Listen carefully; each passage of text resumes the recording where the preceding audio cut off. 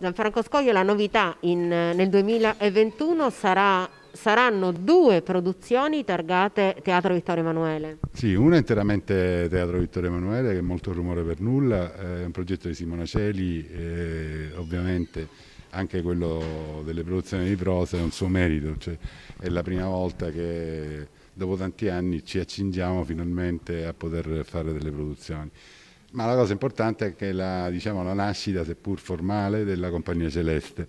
eh, perché Molto Rumore per Nulla avrà intanto come regista un messinese, che è Giampiero Cicciò, poi eh, come autore musicale un altro messinese, che è Dino Scuderi, e eh, la scenografa sarà Francesca Cannao, che mi pare che è di Messina. dopodiché eh, si faranno le audizioni eh, e quindi saranno rivolti a tutti gli attori messinesi e non eh, che sceglierà il regista. Ma la cosa importante è che i tre selezionati da Play the Game, coloro i quali hanno vinto le tre sezioni e che purtroppo eh, non abbiamo potuto dare ancora la borsa di studio perché ovviamente le scuole con lockdown sarebbe stato inutile,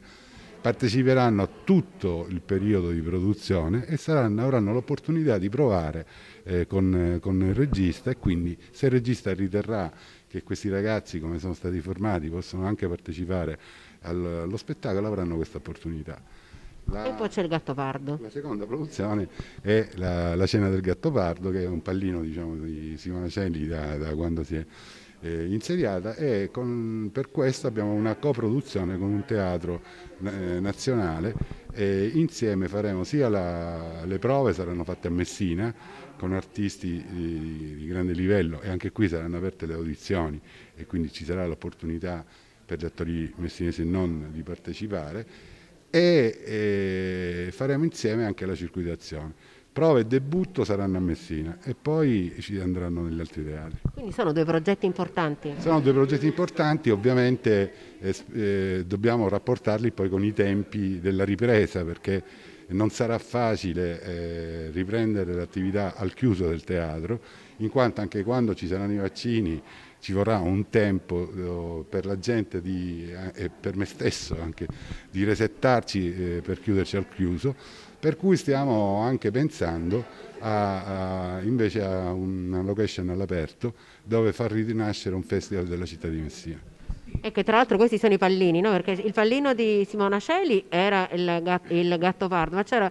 quello di Scoglio che era il Freddie Mercury che è rimasto congelato. E su Freddie Mercury ci stiamo, stiamo continuando a lavorarci perché ovviamente è una produzione molto delicata, non, è una produzione che va fatta con un ologramma perché non, non, non esiste far cantare un, un, eh, un, artista Freddie Mercury perché non, ovviamente il confronto non ci può essere perché,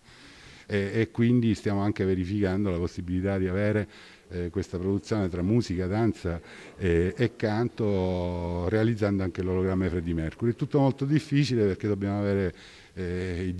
le autorizzazioni degli eredi. Eh, io ho già scritto in Inghilterra la, diciamo, i due gruppi, eh, l'amica la, di Freddie Mercury e, e i, i, gli altri che hanno diritti d'autore, gli altri familiari che hanno diritti d'autore, cioè il padre e i figli, per capire se ci danno l'autorizzazione, perché ovviamente potrebbero, se no, bloccare la produzione. Per cui ci stiamo, ci stiamo lavorando e il mio pallino spero di poterlo realizzare.